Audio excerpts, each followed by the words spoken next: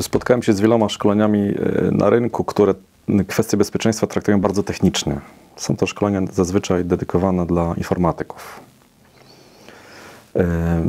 Nie nadają się one, nie są zrozumiałe dla e, standardowego, przeciętnego, nazwijmy to, e, użytkownika systemów informatycznych. Spotkałem się też ze szkoleniami, które kwestie bezpieczeństwa traktują jako pewien fragment jakiegoś, jakiegoś, jakiegoś większego szkolenia, większej, większej, szerszej tematyki.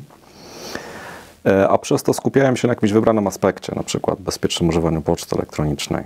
E, to, co wyróżnia to szkolenie, to moim zdaniem jest właśnie kompleksowe potraktowanie tematu bezpieczeństwa z perspektywy, e, nazwijmy to, zwykłego użytkownika, nie informatyka, i uzupełnienie tych treści e, takimi przykładami, z którymi każdy z nas może się utożsamić. To znaczy, każdy z nas może sobie wyobrazić te sytuacje, w których to nie e, ktoś jest mm, uczestnikiem, tylko ja, nikt inny, tylko ja właśnie w takiej sytuacji się znajduję.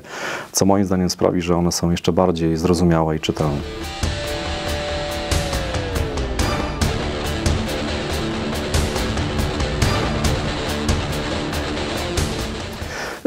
Uważam, że to szkolenie y, może poszerzyć świadomość użytkowników y, w ten sposób, że uświadomi im, że bezpieczeństwo to nie tylko antywirus, czyli to, to, to nie tylko rozwiązania techniczne, ale to w dużej mierze zasady postępowania, które mówią o tym, co robić, czego nie robić, a tym samym jakby wskazują, że bezpieczeństwo to nie zawsze duże wydatki, duże inwestycje, jakiś problem organizacyjny albo niesamowicie wiele czasu potrzebnego na wdrożenie zabezpieczeń, e, tylko w znacznej mierze są to zasady, które można od zaraz, od, od, od, od ręki wprowadzić w organizacji i są one skuteczne, pozwalają ochronić nas przed wieloma zagrożeniami.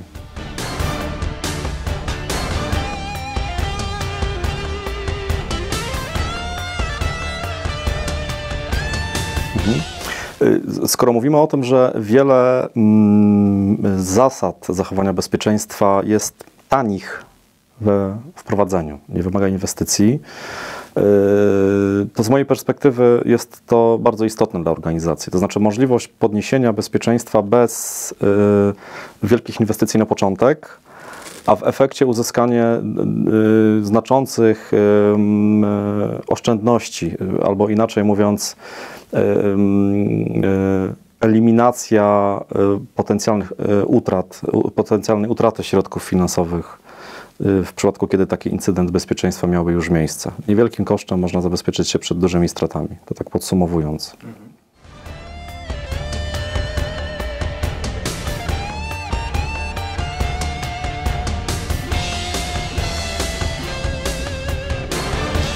Akurat o tych zasadach, o których mówimy w trakcie tego szkolenia, y, z tymi zasadami większego problemu nie mam w tej chwili. Natomiast oczywiście poza tym, że zajmuję się bezpieczeństwem y, zawodowo, no to jestem y, też użytkownikiem systemów informatycznych i miewałem w przeszłości no, takie spektakularne problemy.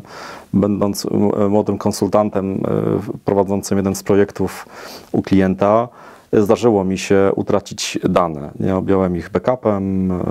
Projekt y, trwa już, trwa już parę tygodni. No i niestety w wyniku mojego zaniedbania straciłem dane.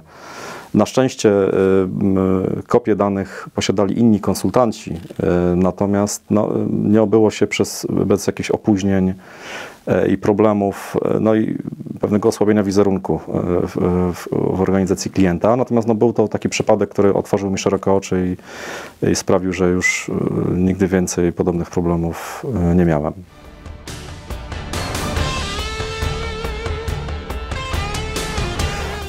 Poza kwestiami bezpieczeństwa, uświadamianiem pracownikom organizacji tego, jak ważne jest dbanie o bezpieczeństwo informacji, zajmuje się też edukowaniem służb informatycznych, informatyków, zarówno organizacji dostarczających usługi informatyczne, jak i wewnętrznych działów informatycznych, przygotowywaniem ich do dostarczania wysokiej jakości usług informatycznych swoim klientom, użytkownikom. Nadal jest w tym obszarze sporo do zrobienia. Ja właśnie pracuję z tymi ludźmi nad tym, żeby jakość usług była coraz wyższa, żeby jakość obsługi sposób pracy helpdesków czy serwis desków był coraz y, wyższy i aby współpraca pomiędzy słu- służbami informatycznymi a biznesem przebiegała coraz lepiej, coraz sprawniej.